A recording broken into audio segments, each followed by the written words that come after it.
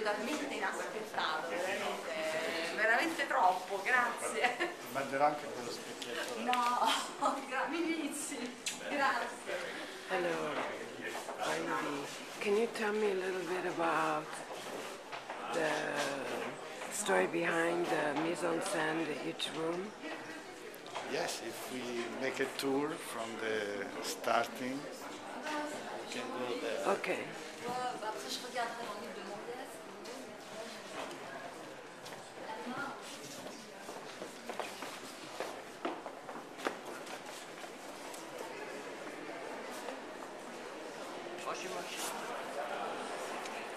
The beginning, there is the, the small piece who gave the title of the exhibition, mm-hmm. La Folie Pratique.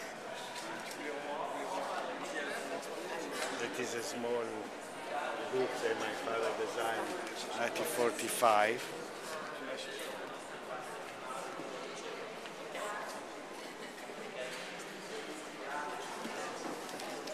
First room is dedicated to the books. The books was the the origin of every inspiration.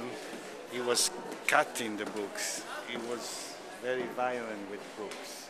He was lo- in love with books, but also he didn't respect really. So he was cutting the images from the book and dividing in files. And the books themselves became a decoration theme as you can see in many, many pieces, because everything was a theme and many variations.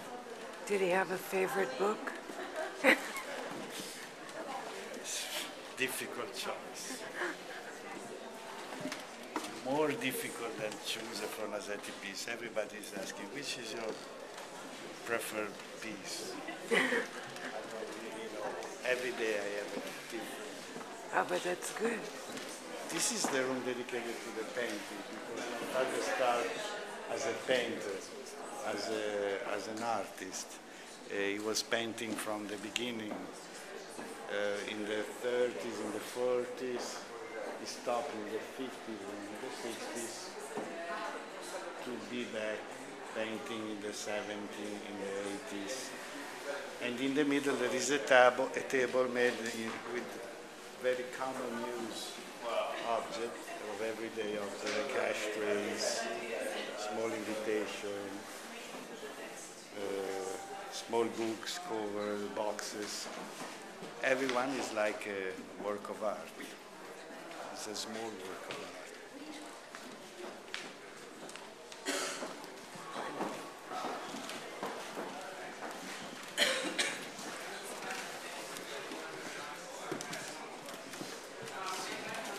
This room is dedicated to the printing experience because he was a printer basically, not only an artist, uh, full of skills and interest in every kind of printing techniques. He was inventing his fonts, many fonts, many different letters. And there is uh, some recent pieces that I did using the original lithographic plates that my father used for printing his decoration.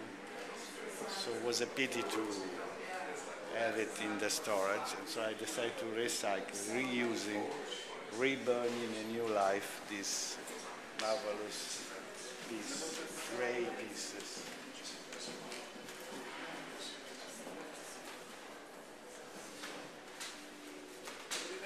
Other artists uh, printed by my father, like De Chirico, Campigli, Fontana.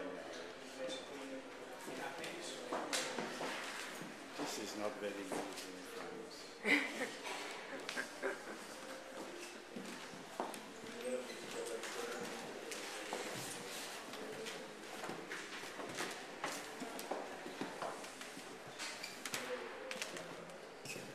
This room was uh, uh, is a reconstruction of the living room in the villa on the lake that is no more there. I saved some original pieces and I rebuilt this room the same atmosphere. I spend, it's an emotion for me every time I cross this room because I spend half of my life. You can feel the emotion. This is the room dedicated to Gio Ponti and the relation with Gio Ponti that starts with the head scarves, with the foulard.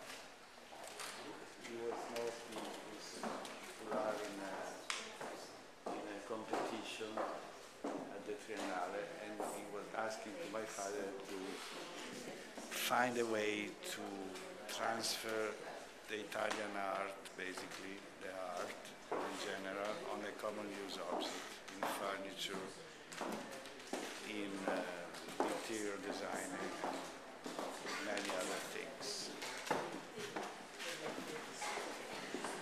This is a very exceptional piece. It's a unique, important piece made Gio Ponti Fornasetti and Fontana Arte together.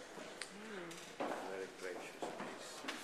My friend Miguel is joining us. I love the work of your father. Thank you. This is the room of the self-portrait. He was painting during the war in Switzerland as a refugee, a long time in a room, big like his bed. He was standing without anything to copy, to draw, only his face in a mirror and he was making variation of his face.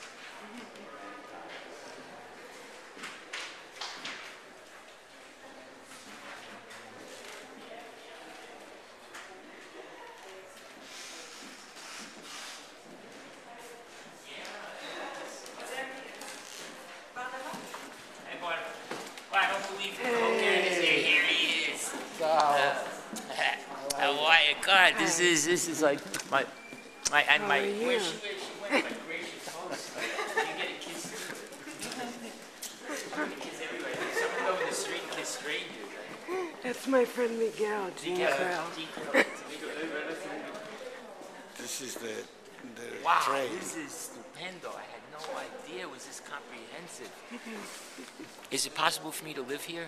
Can I rent Yeah, a if you wanna sleep. yeah. We we will ask her to do that. Wow, We can this put a bed.